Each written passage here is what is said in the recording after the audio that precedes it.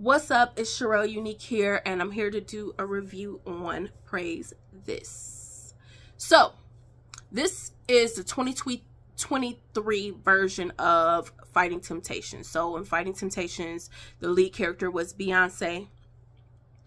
Now we have Chloe Bailey, and we know that Beyonce is Chloe's mentor, and her career has been mirroring Beyonce's career. Um, I believe they're trying to set her up to be the next Beyonce um, which is fine. Beyonce's in a new chapter of her life. And so, I mean, you know, let's go. I feel like this movie was fun and lighthearted and hilarious. And I love the music. And I was entertained. I liked it. I liked the movie. Um, it is PG-13. I'm going to get into why in a few. Um, I would compare it to like the Big Mama's House, the um, Madea's family friendly, light-hearted, fun, Christian-based movie. Um, some of the celebrities that I saw in the movie was Jekalyn Carr, phenomenal gospel singer. Check out her her um song "You Will Win." Koryn Hawthorne, won't he do it? that is my jam. Um, we have Chloe Bailey, like I already mentioned. Um, we have Michelle Williams, Country Wayne. Um,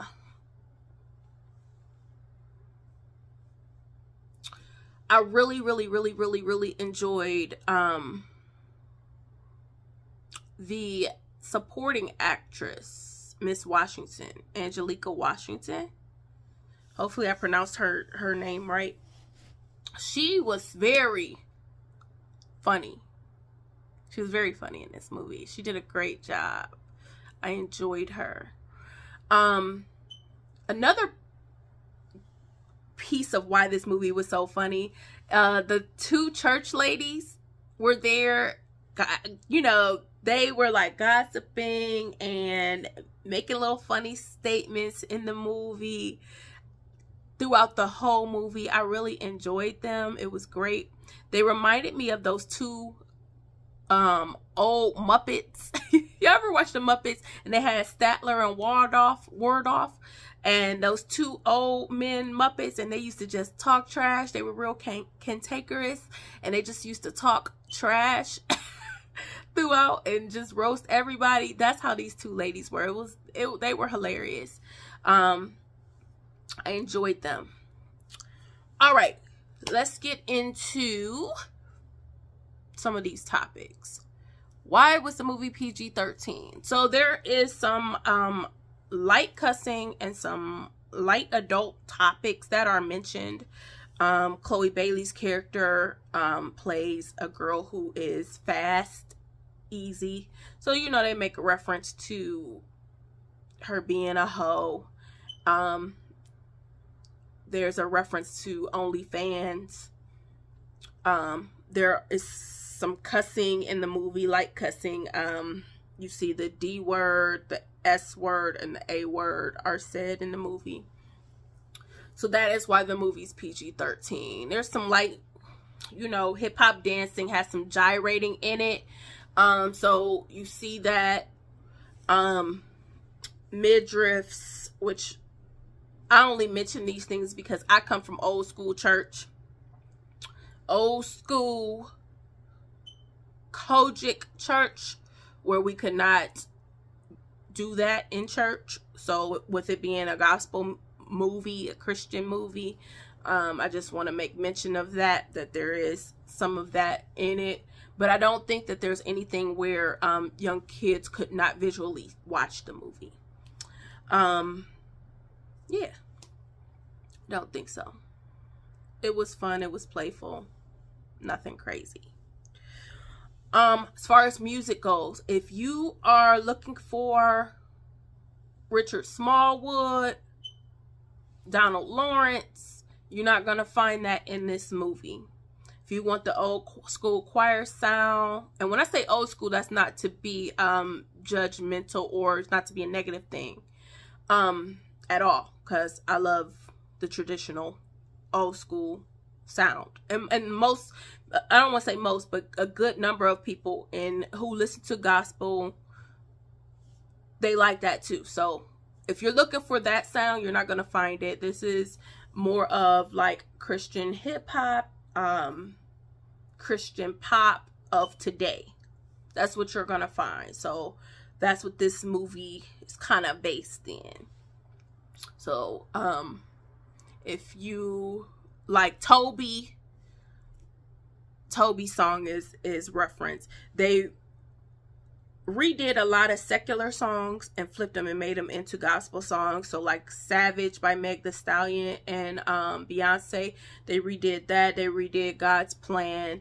Um, they redid um, Money by Cardi B. One Thing by Amerie. Like they re redid them and flipped them. Quavo, I forgot to mention Quavo, very important character in the movie.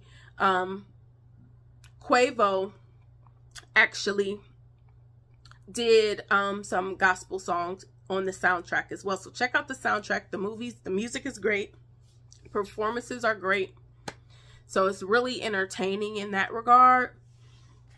Um, yeah. I want to make sure I'm not missing anything.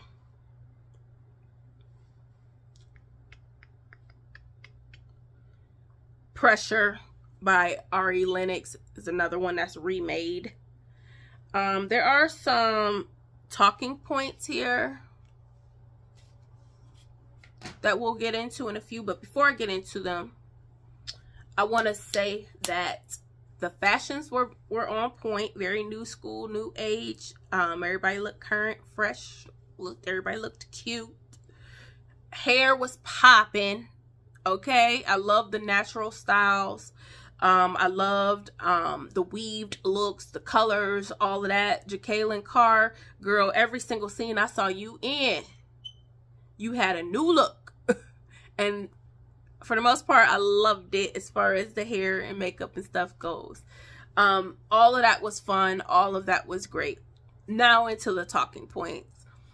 If you want to take some topics to talk with your family or your kids about after watching it, you know, you can talk about forgiveness in this movie, redemption. Um, you can talk about grief and uh, uh, grief comes up, um, clout chasing, um, self worth, um yeah it's a number of topics that can be talked about peer interactions bullying um yeah it's a number of topics that be, can be brought up that can be discussed in the movie. Um but other than that i really enjoyed it.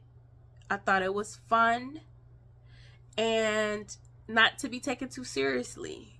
So if you are very disciplined about what you watch, everything needs to be very, very pure, very, very um completely, completely clean. If you're particular about that and um what your children watch, then you may not this might not be the movie for you. If um these things that I mentioned are just fun, lighthearted things to you, that's not taken that's not um offensive, then check out the movie. I think it's a movie that church goers and non-church goers can go can watch and would enjoy. Um yeah. That's it. That's my review. My name is Charelle, Charelle Unique. Hit the like button, hit the subscribe button. Let me know what you think in the comments. Um, if you enjoyed this movie, um, what your thoughts are. So, I'm out.